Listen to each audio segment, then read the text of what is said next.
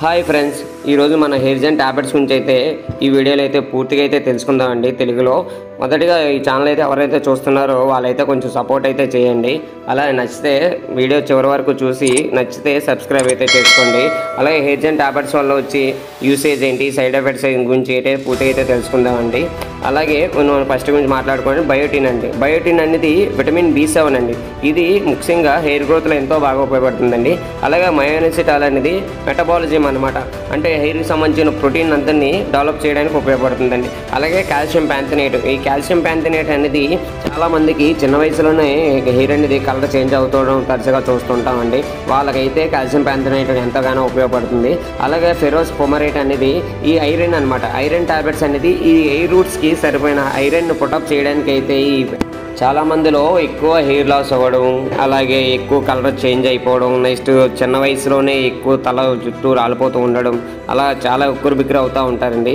ఇవన్నీ ఏంటంటే హెయిర్ ఫాల్స్లోకి వస్తాయి. ఇదన్నీ బయోటిన్ అనేది మనకి ముఖ్యంగా ఈ హెయిర్ గ్రోత్లో ఎంతో బాగా ఉపయోగపడుతుందండి. బయోటిన్ అనేది బ్లడ్లో కలిసిపోయి మనకి హెయిర్కి సంబంధించిన ప్రోటీన్ అంతని డెవలప్ చేస్తుందండి. ముఖ్యంగా హెయిర్ జెల్లో మనకి biotin మయోనిసిటాలు nicotinamide calcium pantothenate ferrous fumarate అనే టాబ్లెట్స్ ఇవేంటి ఏంటంటే మనం ఈ కంప్లీట్గా మనకి హెయిర్ గ్రోత్కి ఉపయోగపడే టాబ్లెట్స్ అండి.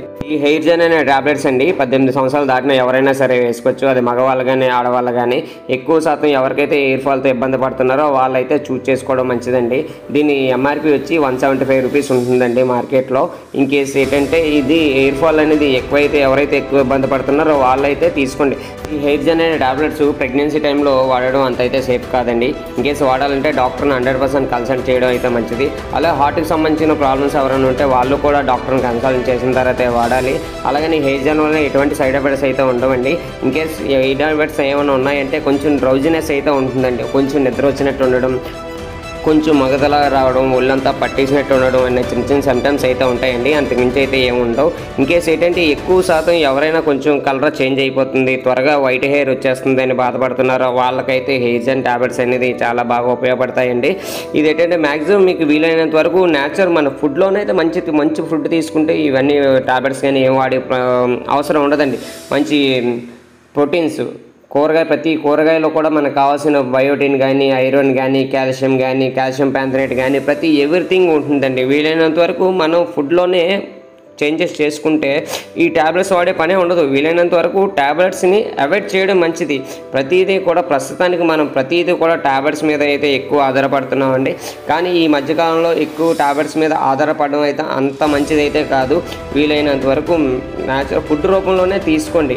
అలాగని హెవీ హెవీ ఫుడ్ కాకుండా ప్రోటీన్ ప్రోటీన్కి సంబంధించింది హెయిర్కి సంబంధించింది కానీ హార్ట్కి సంబంధించింది కానీ దేశం బెటర్ కొంచెం హెల్తీగా ఉన్న ప్రోటీన్ ఏముంటే తీసుకోండి.